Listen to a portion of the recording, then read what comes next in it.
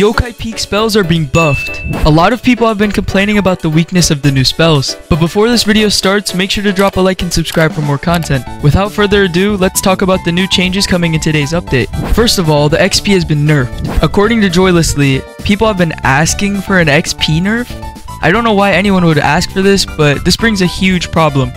A small XP nerf would have made sense, but for some reason they have nerfed it all the way from 2 trillion XP per round to 700 billion in Nightmare mode. This makes no sense at all because now Gilded Skies Nightmare gives more XP than Yokai Peak Insane mode. So hopefully they resolve this issue in the update.